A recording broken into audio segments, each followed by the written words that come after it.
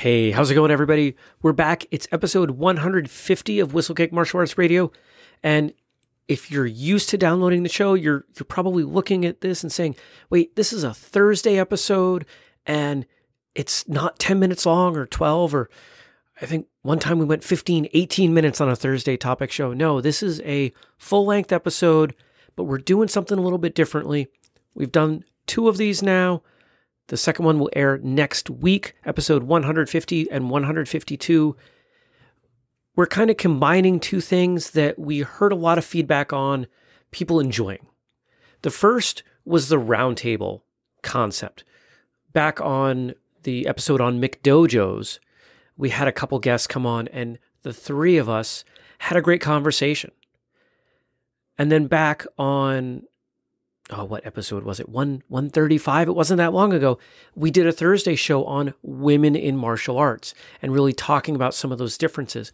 Now, I was fully aware when I recorded that episode that I was not the best person to talk about women in martial arts. But we heard from a lot of listeners that said, hey, we want more of this. And it wasn't just women that wanted more conversation on it, it was men too. So we went back, talked to a few of the women that have appeared on the show and said, here's the concept. Would you like to get involved? And they said, yes.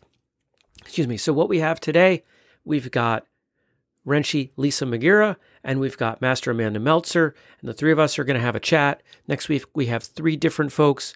Now, this episode is not just for women, and it's not just for men that don't understand the female perspective of martial arts it's hard to come up with a, a title and a concept that, that I can really break down into a couple sentences to put out what we're doing. And if you've listened this far, thank you. And I just want you to check it out because it's going to make you think. We get into the nitty gritty, not just about men's perspective and women's perspective and roles, but really some of the, the deep underlying structure that is martial arts and what it's become today. So I really enjoyed it. I came away thinking about a lot of different stuff, stuff that I hadn't even considered to consider. So, with that said, I'll turn it over and you can listen to the show. Renshi Lisa and Master Meltzer, welcome back to Whistlekick Martial Arts Radio. Hello. Thanks, Jeremy. I'm assuming at this point, because I'm recording this before the intro, that at some point I have primed the listeners for what we're doing here today. But on the off chance that I didn't do that, or if they've forgotten, maybe they have very short attention spans, we're going to talk about some topics today that relate to women's involvement in the martial arts.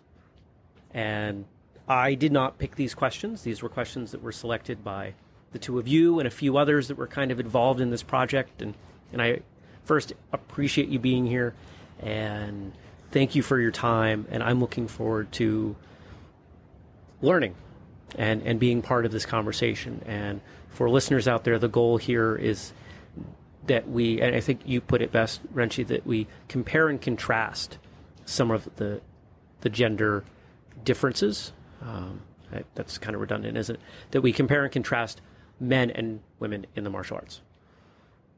Right. So. Absolutely. Okay. So let's jump in you know, let's let's just start with the first question I have here. These are in no particular order. What might cause a woman to stick with martial arts training, and why might she stop training? I think for a woman to stick with it, it's empowering when other men that have never trained see her doing it. It gives her a sense of power. Elaborate. Well, you know, um, I know like people that I know, they find out what I do and they they're just in awe of what I can do, what I've been doing, and how long I've been training. And then I try to tell people you can do that too, you know, if you just stick to it and keep your heart in it. Okay. Renshi, I feel like I cut you off. Go ahead. No, no, that's okay.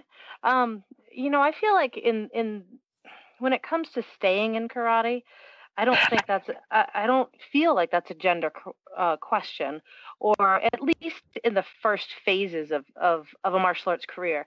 You know, people they stay or they go because they love it or they don't, or in the case of a child because their parents saying you're going or you're not. you know, um, but from in my experience, people who stay it's more about that they can't do without it versus that they want to come you know? They just can't see themselves without it in their life. And i guess that was my own experience. It never occurred to me things that would be challenges for other people whether it was the time of a class or the distance to a class or you know we we talked about the color of a uniform like it didn't even occur to me that that was a problem. It was just how do you get to the next step Mm-hmm. I would agree with all of that also because I, you know, was pregnant with both of my children through all of my training and I never stopped going. I continued. Me too. yeah, I couldn't Yeah. imagine ever going. Was I was glad when they when they said you know when you because when you're pregnant and you know they say you can do a physical activity if you've been doing it before. So I said okay, and uh, I was like that's good because I've been doing karate for a whole bunch of years. I'm going to keep doing it. I just didn't do bag work, and the only person I sparred with was Sensei John Trader because I trusted him. Exactly. There was very few people I worked with, and you know, I worked on other things that didn't involve a lot of contact, but you could still keep doing it. I did a lot of research. There wasn't a lot out there, but there was some things. Are there any? Eh, Reggie, you you mentioned kind of that first phase of training, and and I think anybody that's been training for a while, whether they've owned a school or not, knows that that you know those first few weeks, first three months are really kind of I don't want to say make or break because certainly people drop out after that, but that's really where the highest rate of attrition is. People come in, they give it a shot, and realize it's not for them.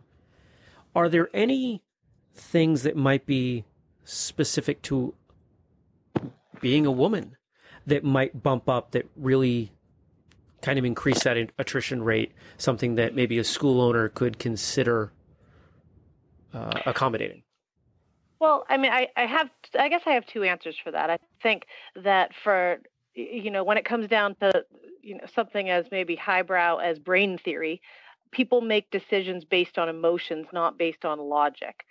So, how a person feels about their training, whether it's, you know, maybe they don't like being barefoot or they do like being barefoot or they don't like the uniform or they, I had a woman tell me, she said, well, I didn't come back because you had the elastic waistband uh, pants and it made my muffin top like stick out over it. And I was like, and so this was years later. I was like, well, we have other pants. You didn't say anything.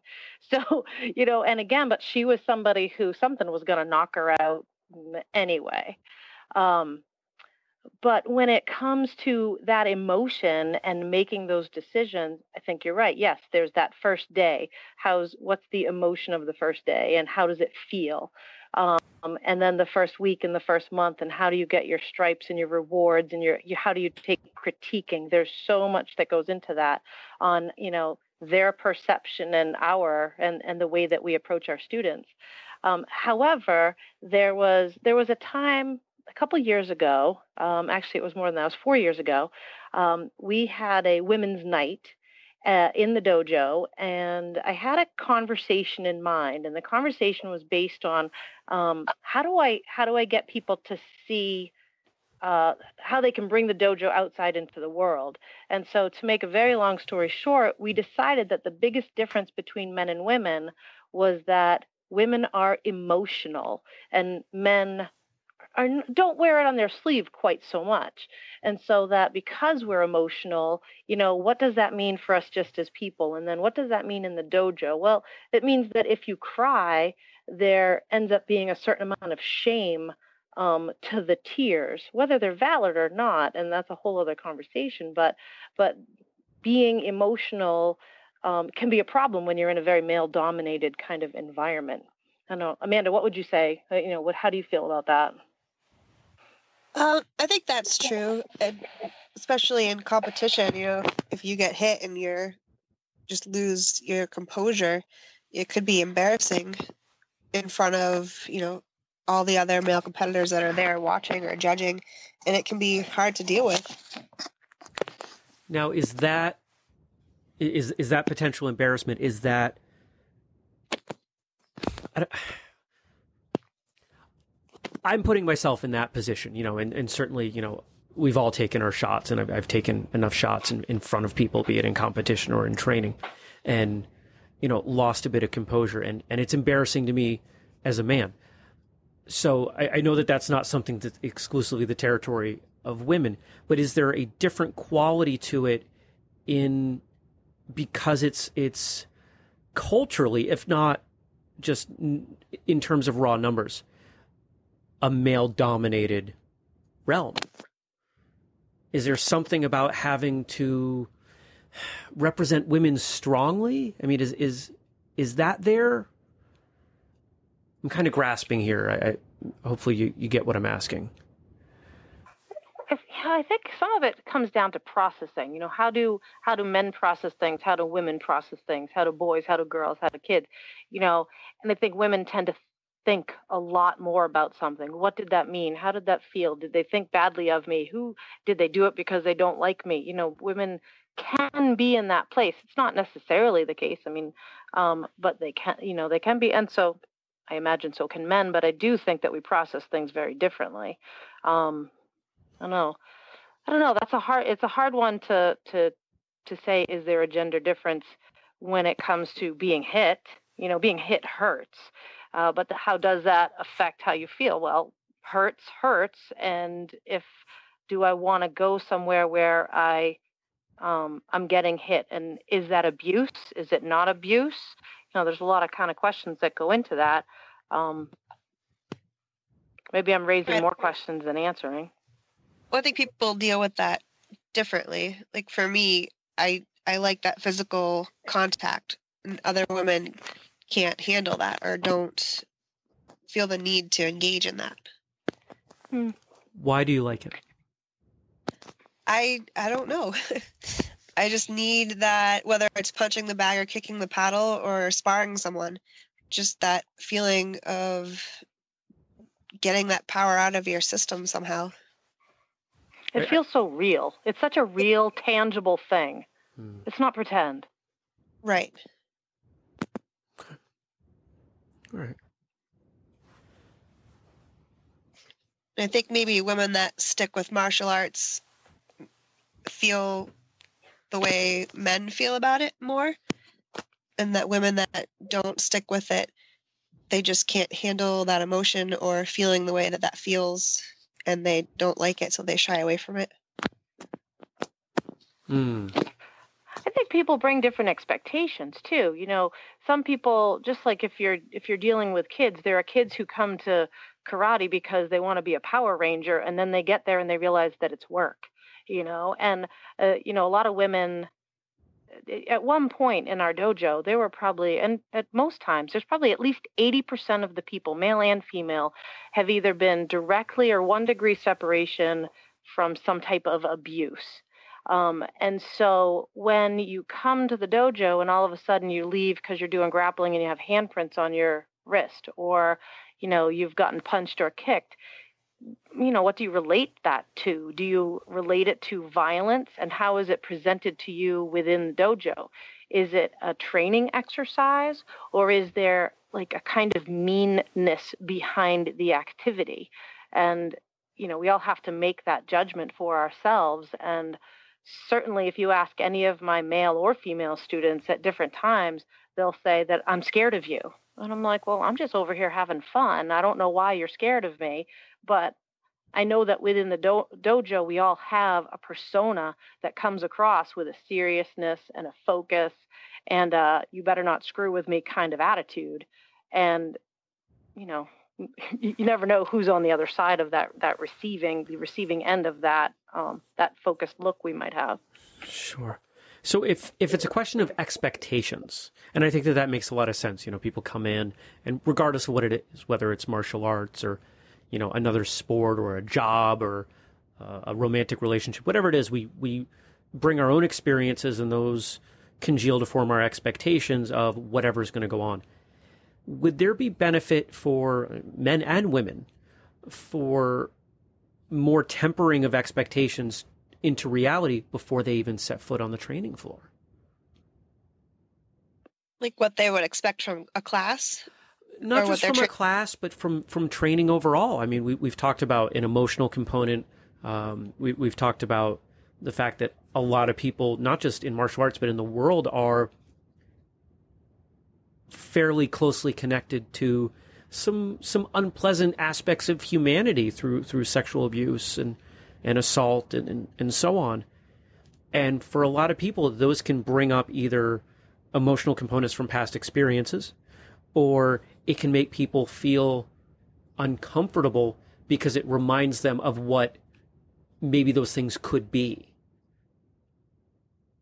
Well, I think going into a studio, um, you should know that it's a safe place and that you should be able to trust the people that are there and that it's you know it's an exercise and it's a workout but it's also real world world training.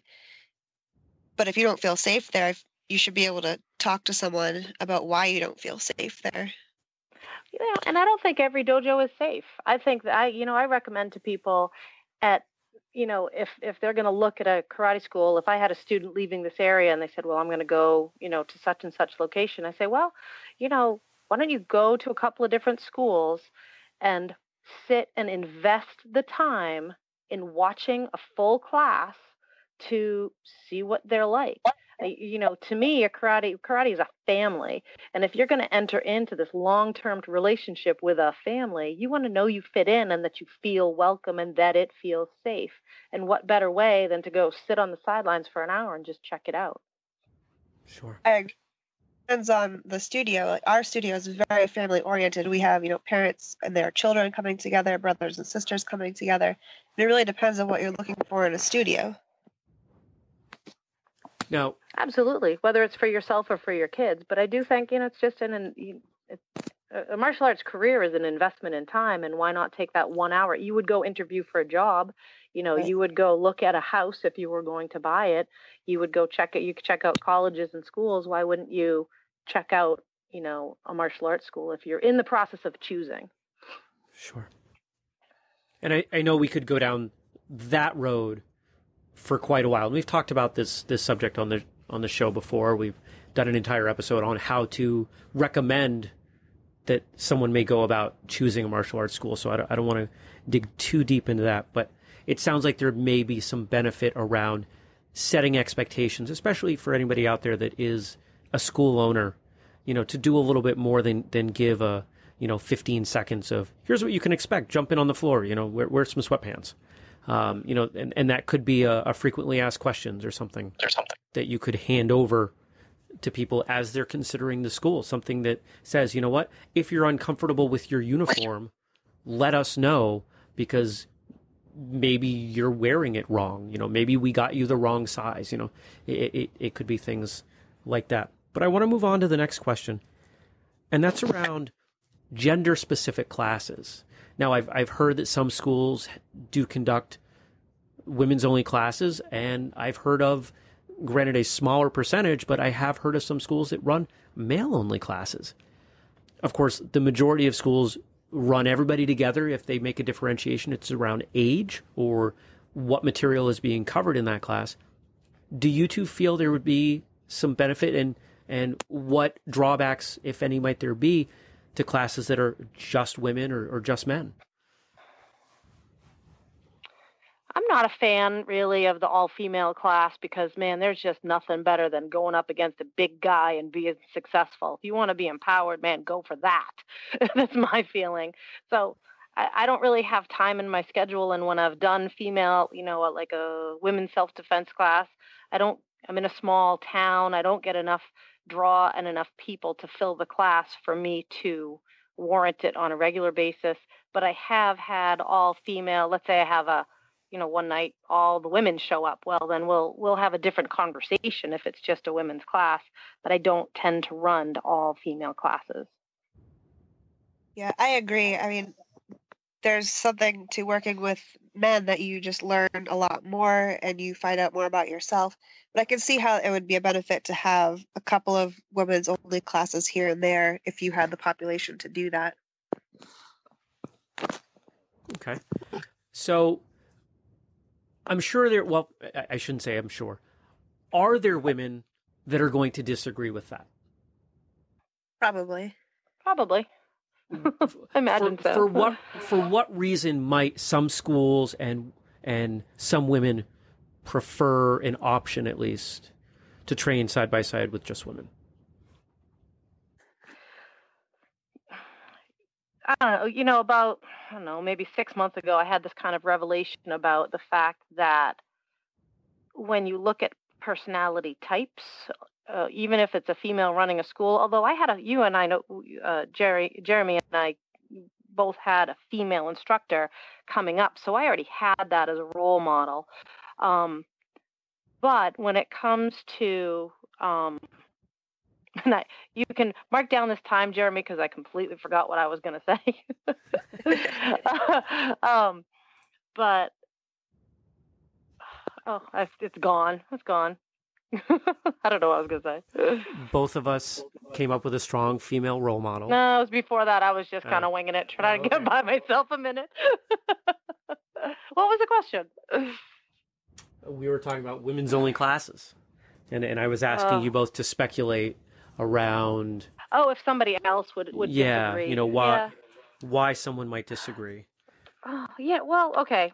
So here's my answer as to why I think somebody might disagree is because I think a lot of the personalities that are the, you know, either the instructors in the school or whatnot are very kind of A type scary personalities a lot of times. And, you know, like, I don't know a lot of people who do yoga that like also do martial arts, and I'm tr- pro- probably wrong.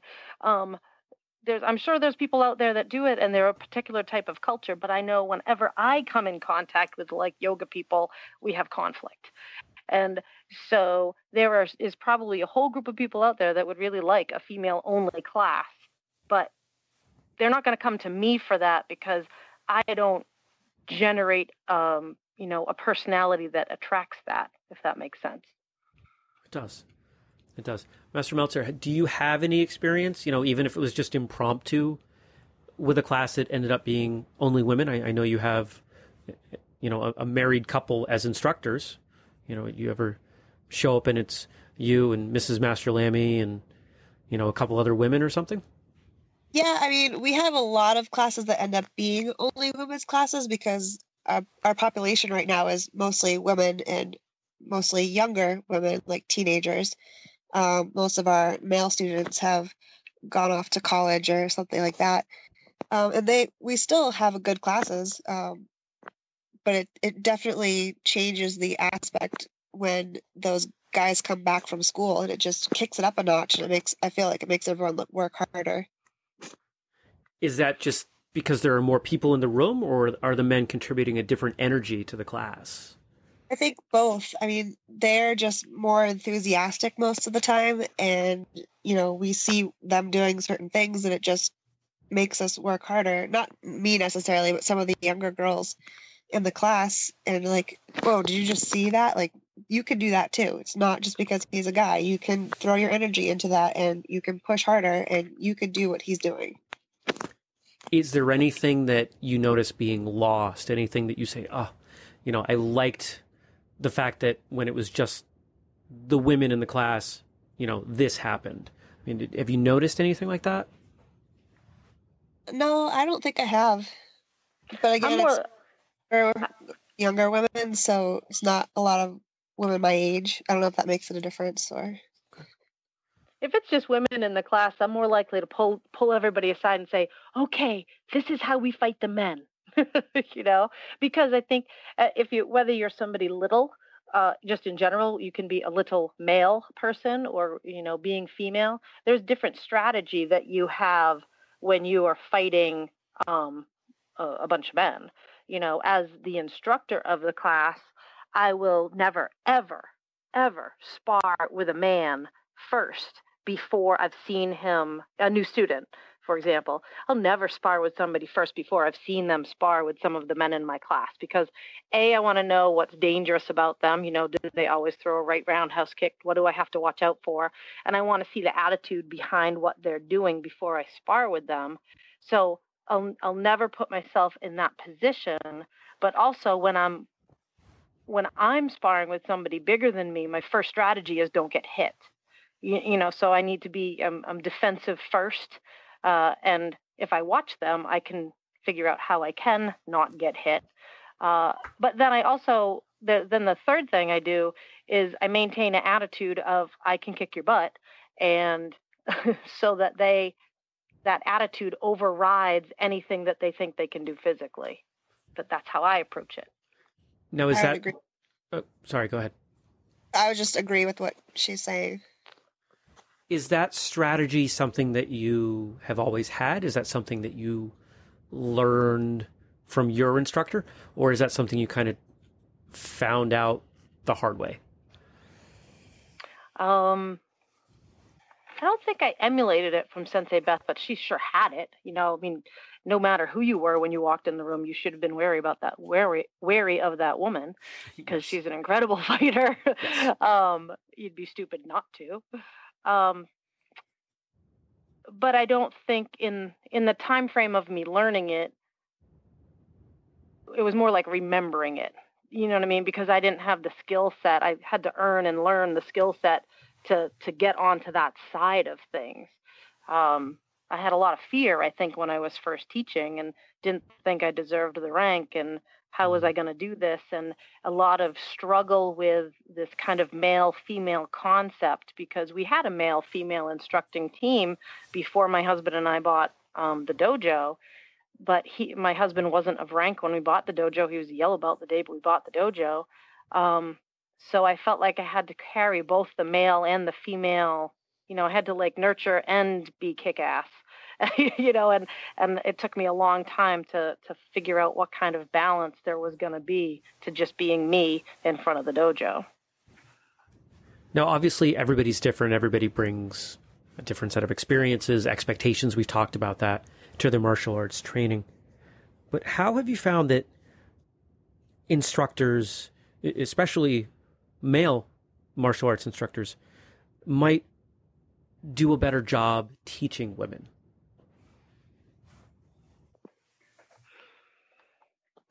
I feel our instructor, Master Lamy Sir, expects us all to be equal. He wants us all to be able to do the same things. He doesn't treat us differently because we're girls or treat the guys differently because they're guys. You know, we do what we do and we fight and we spar and we're expected to pay attention and do the best that we can.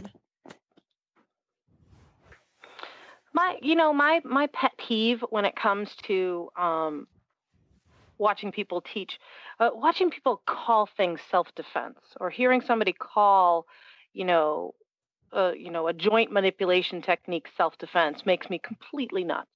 Because especially if it's being demonstrated by somebody who's like six foot two, 240 pounds, and they can flop you on, flop whoever on the floor. Um, you know, if that person grabs my hand, well, I'm not doing a joint lock nonsense. I'm certainly not going to call it self defense, and it's not going to work for me because I'm too small against that particular person. So that's if I had one big pet peeve, that would be it. Um, so if people could stop calling things that don't work for little people self defense, that would be fantastic. Um, and yet on the other side of that, when it comes to just like um, you know what Amanda said, she said, you know, expect the same things. Just because you know, we talked about being emotional. If you're sparring with somebody, it's very common for, um, more common, I think, for females to use tears or giggling as a way to shut the situation down, you know?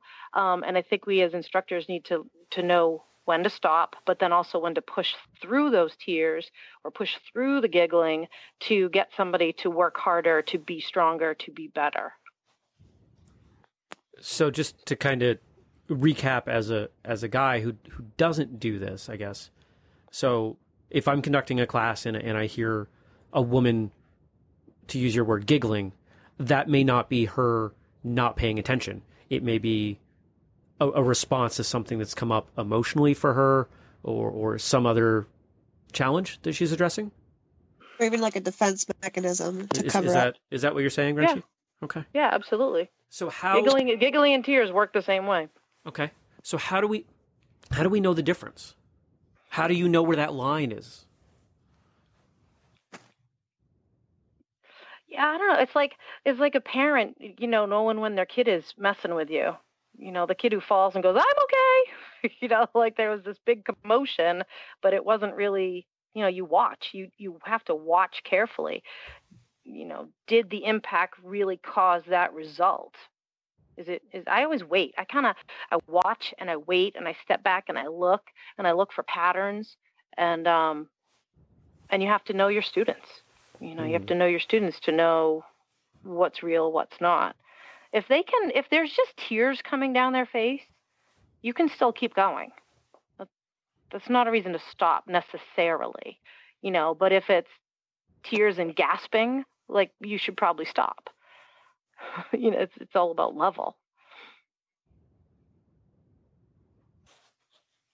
Okay, I'm I'm, I'm putting know, myself in that situation. You know, I'm I'm trying to to envision, um, you know, conducting a class or, or being a senior rank in a class, working with someone, and, and you know, regardless of gender, I guess, and and they start crying. You know, if I've if I messed up and I kicked them in the face, you know, I understand why they're crying. I know how to handle that situation.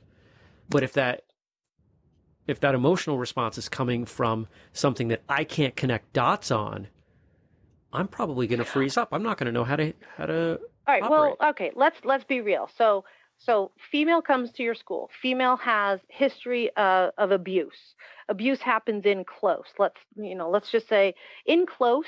In close fighting is an issue for people who've been abused. It's an issue. As soon as you get up in somebody's face, they shut down. They back away. They get confused. They shut down. They cry. They do whatever. Right. So you're they're in a post traumatic stress kind of response, right? And you're in their space, but you know you're a safe person. But they're experiencing something different. Maybe they're having a flashback. Maybe they're not in that moment, or maybe they're perceiving you as a threat that that you're not intending. Right. So so now you're in this safe space. You're I mean you're in this close space. You have to make it space. You have to make it safe.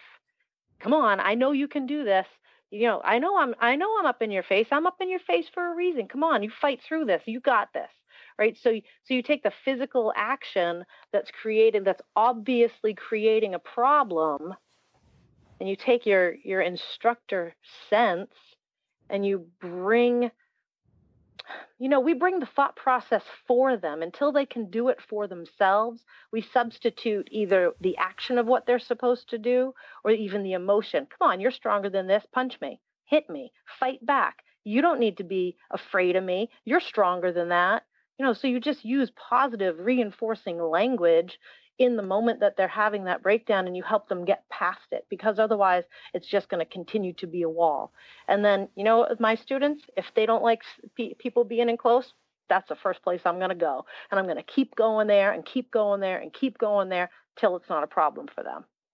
That's what's so great about martial arts is it can be in you know talk therapy talk therapy is never going to work for me i like to talk but it's not going to solve my problems not nearly as fast as being in the dojo, hitting something, hitting a bag and getting that emotion out, or being in front of somebody, reliving it, surviving it, and knowing I could conquer it the next time. That's how I feel about that. Hmm. Have you experienced anything like that, Master Meltzer, either yourself or, or working with another woman? Um, no, I've never experienced that. So I, I, guess my question to to both of you then um, is around that gaining that knowledge. You know, you you mentioned Renshi the the idea that you know you know this woman has a history of of being abused. I'm going to guess that a woman that has been abused is going to be more comfortable telling another woman that she has been abused. Does that add up? Um, I don't know. You know, so I, I, my my question is around, you know, if if I'm operating a martial arts school, I'm not sure what percentage of women that come in with a history of abuse are going to let me know. It doesn't seem like it's an appropriate question for me to ask. I mean, maybe there should be some kind of intake form, you know, the you know the the other side of the frequently asked questions that I speculated I on earlier. I mean, twenty five percent of your population one in four one in four women one in seven men in the you know one in four women in the united states will be sexually assaulted sometime in her lifetime one in seven men those numbers are severely underreported so you know, look around any room room of 100 people, at least 25 have been abused in some way, assaulted in some way at some point in time. It's a big number. So I don't think you have to look far in a dojo to find somebody who has had an experience. And uh, and they will react. They'll react differently. You know, if you if you're perceptive, they will react just a little bit faster or they'll break down a little bit faster. I don't think you have to uh, you just need to be trusted. You don't need to be male or female, you know, and if they break down and you pull them aside, hey, is there something I need to know here? Did hmm. I do something wrong? The, the difference is you're in an environment that is the same physical, you're in the same physical space as an abusive or violent situation, and yet you're not bringing that emotion to it. You're not bringing that attitude to it. So you have a real opportunity to help somebody get to the other side and change their paradigm around how they feel about it. And every indivi- every individual every situation is totally different but i can tell you i've had numerous numerous women through my doors that have you know we've we've walked this process. So really it's just a question of, of watching for it you know keeping your eyes open and and trying to detect you know using using your skills as a martial artist to observe. Mm-hmm. okay. All right. That makes sense. W- would you agree master meltzer Yes, I would agree with that. All right. Would you would you say there's a a despair? Oh, oh. Somebody's rubbing their face on the microphone. uh, does there seem to be a disparity between the male and female martial artists at higher ranks uh, in terms of, of numbers, um, skill, um, desire to compete, you know, anything along those lines? Definitely. I mean, at my age and rank, there are very few women that compete. Yep, I agree. Now, is that because there are fewer women your age and rank overall? Or are they not interested in competing? I think it's more of a lack of interest in competing. Why do you think that exists? I'm not really sure because I just I have this drive to compete and I enjoy it so much that I don't really understand why people give it up. I mean, I can kind of see giving up the sparring aspect. You know, as you get older, my body isn't as cooperative as I would like it to be a lot of times, but it's still for the for the fun of it. So I just have to keep trying. Renshi?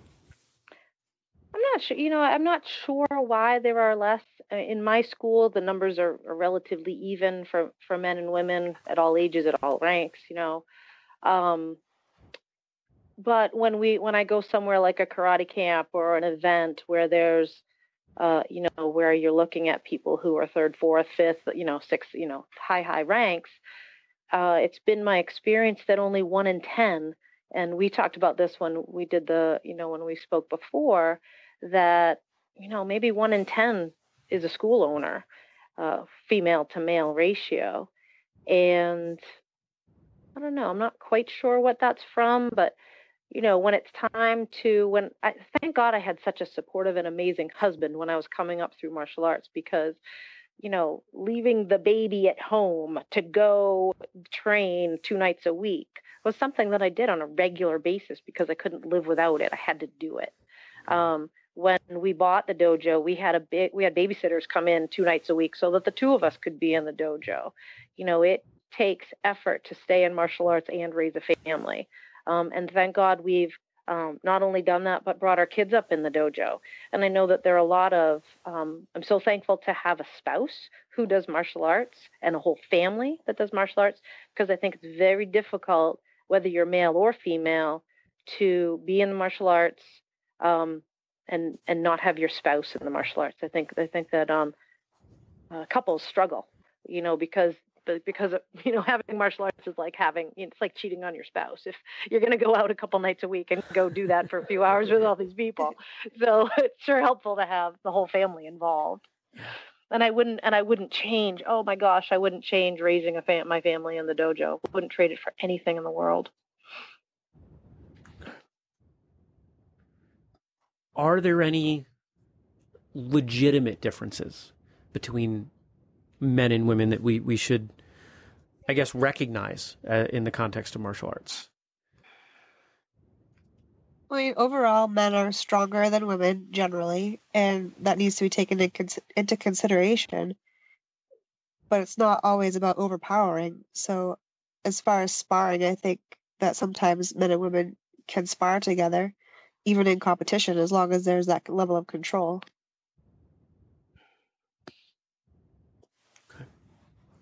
I think men have strength, women have grace.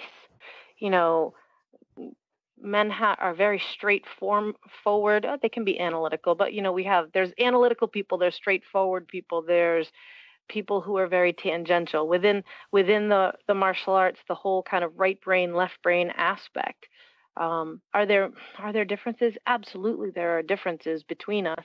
But I will tell you that um, guys who aren't good guys don't stay in my dojo very long because there's just I don't have any we don't have any place for that. We don't have place for people who are unkind or you know think themselves better than the rest of the people in the room, male or female. Um, Is that self-selecting, or are you encouraging them to go elsewhere? It is my house. it's my house, and nobody's going to come into my house and you know and be abusive. They're not going to. At the end of the day, I'm going to be there the longest and if they're gonna if they're good people they'll make it alongside me. Um, but at the end of the day it's our house you know? Yeah. For sure. Talk i, I want to talk we, a little go no go ahead. Well, you know what, and you and you really struggle when there's somebody when there's somebody ruffling the feathers of people in the dojo. You do struggle, you do struggle, but uh, you know, time. I think time is always on. It's always on our side, always on my side. You know, I don't know how, if that makes sense to you or not, but it does. I, I want to talk about that that idea of strength versus grace because it's a subject that's come up a few times. You know, when when we talk about forms and and the best example of a of a beautiful kata poomsae tul pattern, whatever you want to call it. Uh, probably a few names I'm leaving out there. The name that inevitably comes up that most people have known from having her Facebook videos shared is Rika Usami. I mean, just an absolutely fantastic practitioner. But when people talk oh, about, you know, great examples of martial arts fighters, in the at, at least in unless we open it up to mixed martial arts, the examples people generally give are male. So what is it is that a cultural thing? Or is that something that's inherent to our genders? I think part of it's cultural because people are looking for the grace look to the woman for that. Not that a man can't do a graceful pattern or a you know a nice looking pattern but when they're looking for someone strong and powerful they're looking for that man Okay. Well, I think you know the phenomenon of of like Ronda Rousey, you know, is or people's kind of you know their I don't know their awe, their their want to to see that kind of raw violence and aggression from the female side within the fighting. I think that you know we as a culture we're seeking it right now. Um,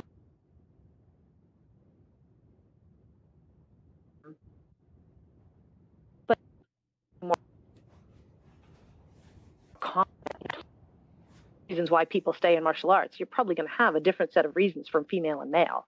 Um, I'm not sure what those would be necessarily, but you know, for me, I stay because I love to teach. Um, I stay because the training, the teaching, the practice of the teaching has become the practice for me more so than the competitive side of it.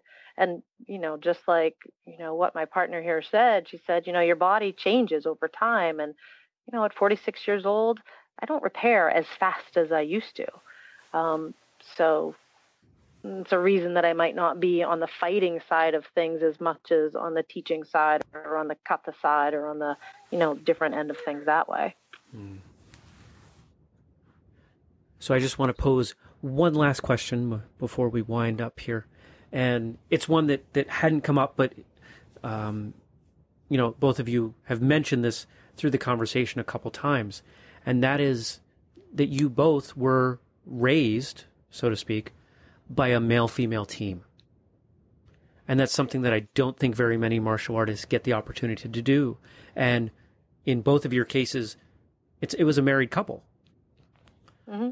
What benefits do you think you gained? You know, what perspective, what bonuses do you think you have from being raised with that multi instructor, you know, dual gender dynamic that somebody that's being raised by just a man or just a woman might not have?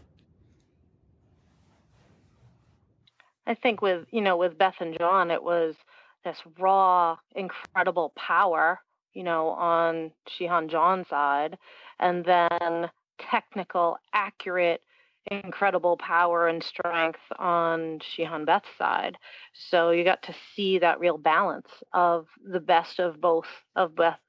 Uh, Beth and John, and uh, I think that was a real benefit. It's a real benefit to everybody in the dojo to have that, to see that balance.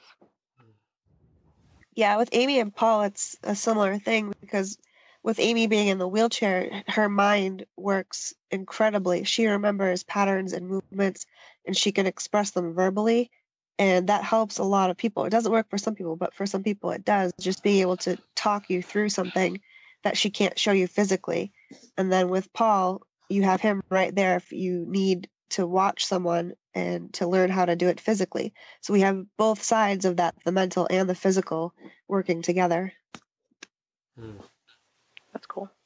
Yeah, and, and, and in both cases, you know, I've been fortunate enough to work with, you know, both teams uh, at, at various times, and of course, you know, one set much more than the other, but you know, there, there's certainly something there with with their ability to play off of each other, you know, and leverage each other's strengths and recognize the strengths that they have. So I think that's that's pretty great.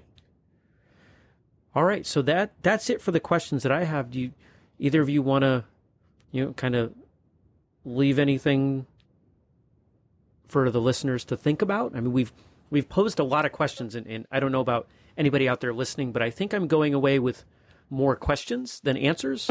and I'm okay with that because it's got me thinking and I like that. But is there anything else that you want to point at for people to consider? Just that I think, you know, I think we do a disservice if we separate ourselves too much. I think we're better when we're all in the dojo together. Uh, you know, in our school, we say that uh, if someone tells you you hit like a girl, you say thank you, you know, because because it's a compliment. And uh, and I think that you know, I don't know. I try to I try to break down the the kind of nonsensical political correctness kind of crap that we have going on in in our language and in the way we treat each other now. A little competition, nothing wrong with that. And being a girl, nothing wrong with that. And you know, being strong and being a girl, go for it. Yeah, I would agree with all of that. I'd much prefer to be put in with the men and made to work harder and be expected to do the same things that they do. Agreed. Cool. Well, I want to thank you both for being here, for for being so open and and you know really just kind of having this discussion. Like I said, I learned some stuff. I've got a lot that I've got to consider, and hopefully the people out there are thinking as well, because that was kind of the hope, right? So, um, thank you both. Thank you.